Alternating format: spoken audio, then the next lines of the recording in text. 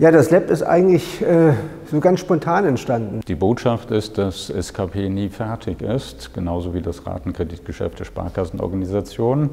Müssen natürlich auch Antworten darauf gefunden werden, wie man da reagiert. Und da reicht dann der einfache Arbeitsplatz Schreibtisch natürlich nicht aus. Ja, wir wollen eigentlich alle mit einbeziehen, die mit uns gemeinsam an Lösungen arbeiten können für die Zukunft. Und insofern ist es wichtig, solche geschützten Räume zu schaffen. Ja? Die, die brauchen wir noch eine ganze Weile. Die geschützten Räume des Scheiterns, in denen ich mal was ausprobieren kann, was auch nicht sofort zum Erfolg führt. Sie dienen dazu, dass Menschen zusammenkommen, Ideen entwickelt werden und nach draußen getragen werden. Das andere ist, dass wir hier auch äh, Veranstaltungen durchführen wollen, wo wir potenzielle Partner einladen, beispielsweise Fintechs, aber auch andere ich sage mal, Unternehmen, die vor ähnlichen Herausforderungen stehen. Dass wir dann gesagt haben, im Grunde bräuchten wir sowas eben auch in, in Berlin, wo wir ja herkommen.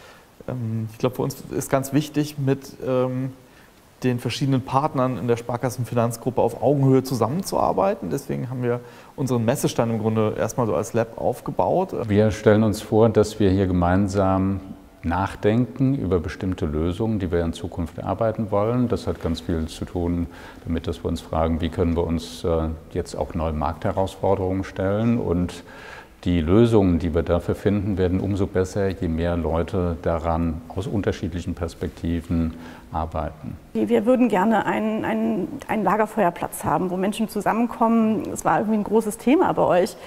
Und das haben wir versucht, da rein zu implementieren in diese Planung. Das SKP Lab ist genauso ein Ort, den man braucht, um der, aus den alten Denkmustern rauszukommen. Was aber dazu führt, dass, dass Menschen in, in den anderen Denkmodus kommen und auch was Neues lernen, ja, neues Miteinander lernen, auch über die verschiedenen Abteilungsgrenzen hinweg und ähm, stärker auch den Kunden mit einzubeziehen. Und wir haben bestimmte Werkzeuge, die wir nutzen können, um bestimmte Szenarien abzubilden. Ob es ein, ein Casual Meeting ist, eine B2B-Situation, eine große Workshop-Situation. Und dementsprechend haben wir das Konzept bzw. die Entwicklung der, der Möbel dann auch ausgearbeitet. Also die Idee ist, dass wir da Arbeitsfläche haben, wo wir professionell arbeiten können, dass wir ähm, Kreativraum haben, wo wir sehr intensiv mit Sparkassen zusammen an Projekten arbeiten können, Innovationen entwickeln können.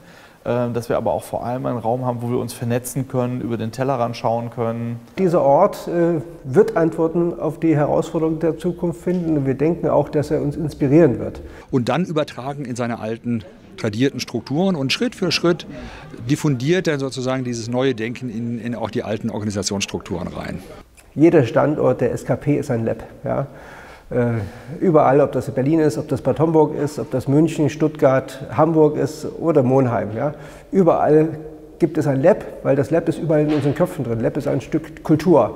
Und dieses Lab ist halt äh, die Inkarnation ja, der Kultur, ja, in Leben gefasst in einen räumlichen Ort.